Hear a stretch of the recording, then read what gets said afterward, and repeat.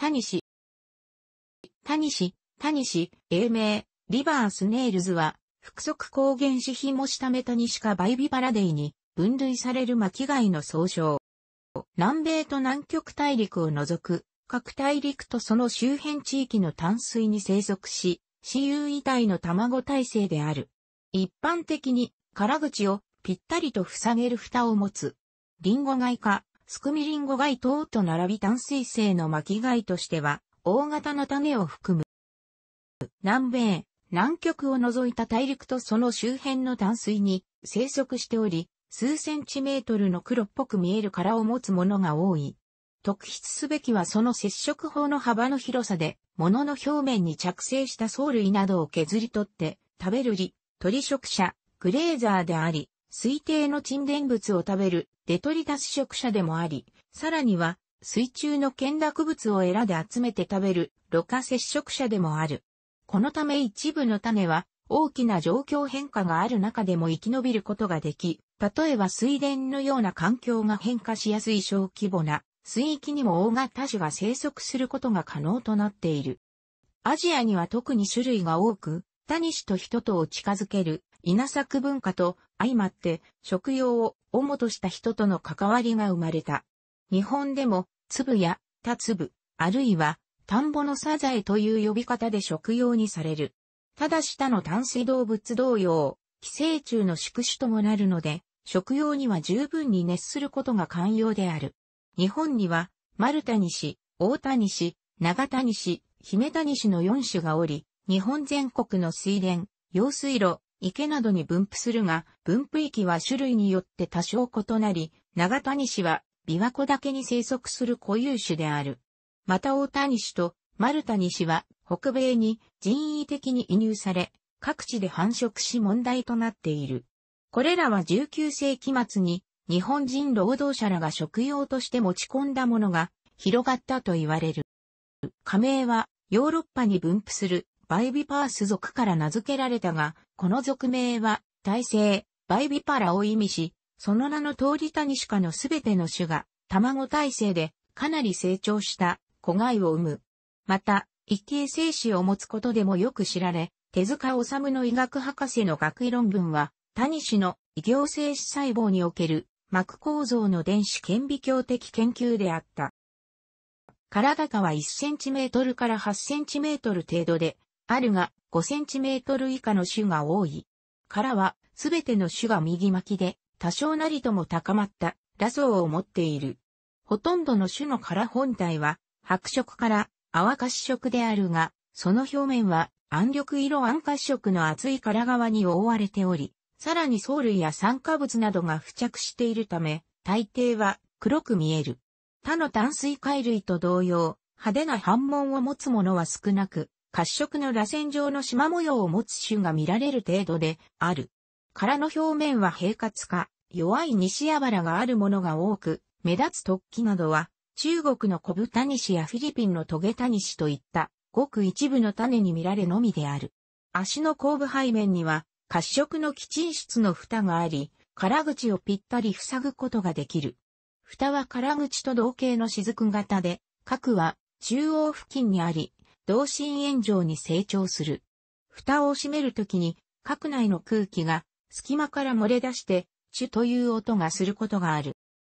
頭部にはよく発達した一体の触覚があり、その根元付近の外側に目がある。オスの右触覚は先端まで油性管が通じており、陰形としても用いられる。このため多少なりとも変形しており、バイビパリニー赤やライオプラスセニー赤では、正常な左触覚より短くて先端が太く終わっており、ベラミーニー赤では、左触覚より長く顕著にカールしている。したがって、右触覚を見れば、死有の判別ができる。古くから複数種の異形精子の存在が知られており、その機能については正常精子の運搬用、栄養体、あるいは他個体の精子に対する攻撃用など諸説ある。メスは交尾によって体内受精し、卵が子貝になるまで体内で保護する卵体制で十分育った違いを数個から十数個生み出す。種類によっても異なるが、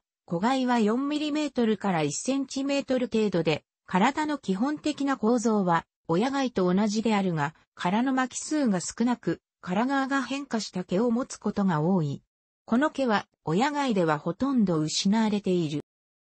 死絶は、紐下型、中絶型、ティニエグラセイトで、1個の半ば、1体の側は、2体の円場の計7個が横一列に並んだものを一組として、それが前後に多数並んでいる。一つ一つの葉は、比較的柔軟で、藻類などの削り取りにも沈殿したデトリタスのすくい取りにも適した構造になっている。また、背中には、東部右側から街頭空の奥まで達する専門体を備えた食物孔を得ている。食物孔の両側は隆起しているが、特に左側の隆起は粘液線に富み、よく発達して背びれのようなひだとなり、右触角の後方から街頭空奥に向かって背中を斜めに走っている。右側の隆起はずっと弱いが、やはり食物孔に並行している。エラでろ過された水中の懸落物はこの食物孔を粘液でまとめながら、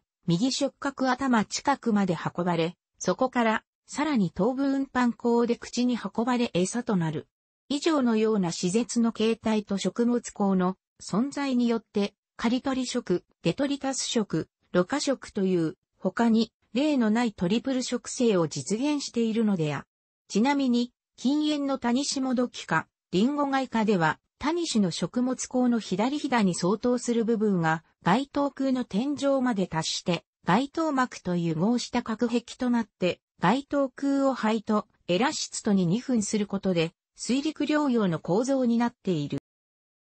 触覚後方の頸部はヒレ状に左右に伸びており、活動時はこれを丸めて水管とする。左が受水管で、その内部にはエラが位置し、右が出水管で内部には肛門などが位置する。普通は右の水管の方が大きく目立つ。このように頸部が伸びて水管を形成するのは、かつて中腹側目として一緒にされていた9空目の貝類が外頭膜で水管を形成するのと異なる点である。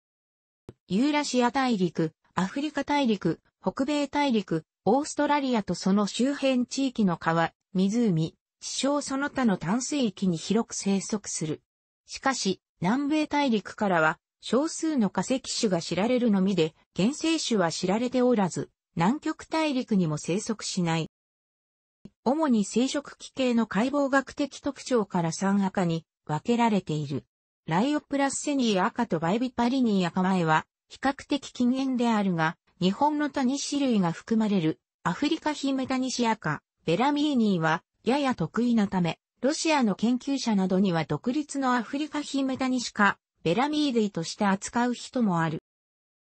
以下は、ワームズにおける赤と族の分類である。が付されているのは化石の実の属を示す。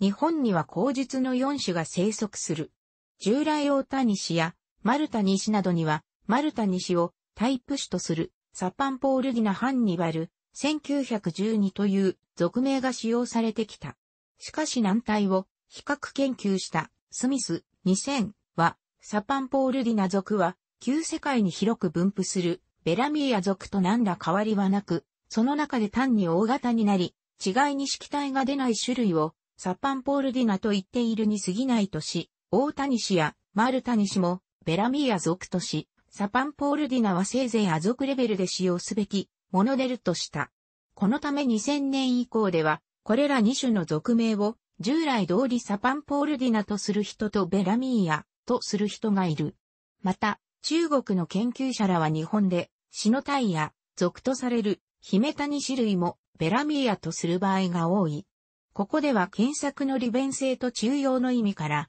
サパンポールディナやシノタイヤをベラミーヤ族のア族として学名に含めたが、さらに古い時代に日本のタニシにも使用されたイジオッポマ、族なども含め、アジアのタニシ類の族には十分な検討がなされていないものも多い。ベラミーやチャネンススラタ、独立種として記載され、サパンポールディナ族のタイプ種でもあるが、その後中国産のシナタニシ、B、チャネンススチャネンススの亜種として扱われるようになった。体が約4.5から6センチメートル、北海道沖縄に分布。ただし、沖縄に分布するものは自然気化と言われているが、その他の地域の個体群も同様に気化種である可能性ある。全体的に丸みを帯びることと、各表に数列の天国上彫刻があることなどで判別できるが、殻の外見では大谷氏との区別が容易でない個体もあり、メスであれば体内の腹貝の形態からオスの生骸であれば解剖することでより確実に判別できる場合がある。大谷氏同様に大型であるため、古来より食用にされてきた。乾燥に強く、農寒期の水田や干上がったため池などでも泥に潜って耐えるが、極度の乾燥や水質の汚染、汚濁などには弱い。かつては水田などでよく見られたが、農薬の影響や陶器の補助の掘り返しなどで20世紀後期頃からは急速に減少傾向にあり、に指定されている。その一方で、北米ではその学名から、チャイニーズミステリー、スネールなどの名で呼ばれ、19世紀末頃に、大谷氏と共に、日本人が北米に持ち込んだとされるものが各地で大繁殖し、現地の故障の水草を大量に食害し、生態系を乱すことで問題になっている。北米では、通常のガーデニングに水環境を組み合わせたウォーターガーデニングがよく行われるようになっており、その一要素、タンクメイト的なとして、ホームセンターなどで他に種類も売れることがあって、それが分布拡大を助長しているとも言われている。北米産の個体は日本のものより大型になる傾向がある。ベラミーア・ヤッポニカから高約6.5センチメートル、北海道九州に分布。水田にも見られるが、水の干上がらない地層や、湧水のある場所などに多い。姫谷市に、やや似るが大型で、確定に比較的明瞭な角があるものが多い。本州北部から北海道にかけて分布するものは、殻の周囲がやや角張って大型になることから、角谷市 BJ 岩川という亜種として区別されたことがあるが、北方では生骸になっても、幼貝の形質である周縁核が残ることによる単なる生態型とされている。大型のため、昔から食用にされてきた。北米では、ジャパニーズミステリー、スネールなどの名で呼ばれ、1890年代に日本人労働者らが食用として持ち込んだものが各地に広がり、日本のような天敵がほとんどいない北米大陸ではマルタニシと共に生態系を乱すものとして問題視されている。ただし北米での記録には、マルタニ氏の五道帝も多いという。ベラミーアクワドラタヒストリカ、体高約3.5センチメートル、北海道九州。水田、地小、用水路など日本の谷鹿では、最も多様な環境に住み、また汚染にも比較的強く、しばしば個体数も多い。大谷市に似るが小型で、個体によって程度は様々だが、ラーバラが多く見られることがある。また、琵琶湖水系では、ラトウが全体的に細長くなり、40mm 前後となることもある。日本産の姫谷氏は、奄美大島の標本をもとに、アシュヒストリカとして区別されているが、中国大陸に分布する、原名アシュ、中止姫谷氏、中止姫谷氏、B、クワドラタクワドラタとは、外見上の違いは、ほとんどなく、中国からの外来種であるとも言われる。小型であるため日本では食用に適さないとされるが、中国では他の谷種類とともに、原名亜種もよく食用にされる。ヘテロゲンロンスピラ長谷氏族ヘテロゲン、アンデール、1921のタイプ種で、一族一種。琵琶湖水系の固有種で、現在は琵琶湖の実に生息するが、かつては流出する瀬戸川にも生息していたという。体高は最大7センチメートルほどになり、他種よりも殻側が緑色がかったものが多い。羅漢の髪型が肩ができるため、裸頭部が段々になるのが特徴だが、時には肩が弱く、一見姫谷氏や大谷氏に似た個体が出現することもある。体自覚の形態が他の種と大きく異なっており、拡張自体は尖るがそれに続く、羅層には特徴的な羅状の畝ができ、畝の上が平坦部になる。大型のため大谷氏などと共に食用にされ、昭和末期頃までは年間数トンの漁獲量があったが、その後減少し、他の二枚貝類を目的とした貝栄量、貝引き量少量が混獲される程度となったと言われ、中でも水質悪化の激しい南湖では激減しているとされる。琵琶湖水系以外の場所で見られるものは、移入湖大群で神奈川県、岐阜県、京都府などの記録があるが、それらは琵琶湖山の魚介類の放流移植に伴って移入されたものと推定されている。腹柄の類似などから中国雲南省の小豚西族、マーグレヤに禁煙であると言われている。俗名は変わった形の腹柄を表し、首相名は長く伸びたようなラトに由来する。